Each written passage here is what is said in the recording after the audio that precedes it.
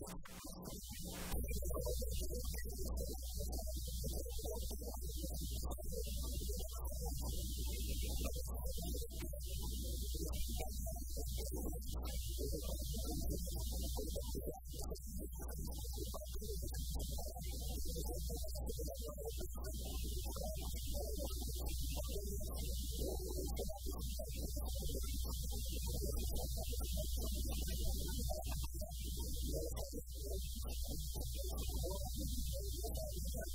Thank you.